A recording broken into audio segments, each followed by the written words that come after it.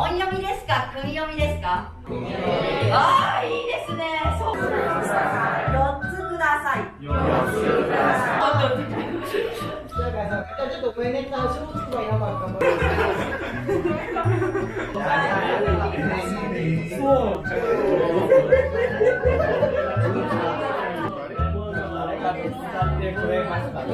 いいね。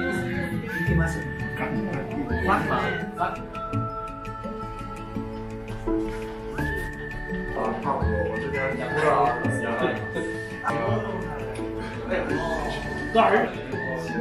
面白いし、えー、どこかで毎日起こっているということはそれは普通って言った方がいいんじゃないかなこの振り方はただ雨というにはちょっと優しす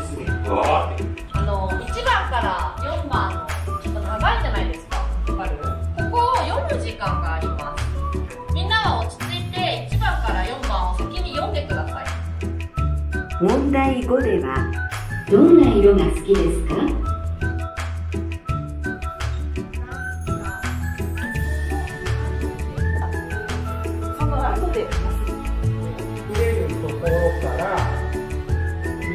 が柵をよく見えるところに作ることこれまっすぐなところじゃなくてこの斜めのところにこれを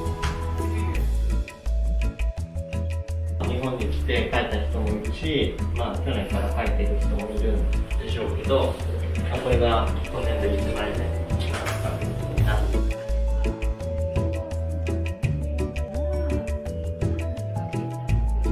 これでもう少し形のその強さがバンバンバンって出てくると非常に良くなると思うんですね。家に入って玄関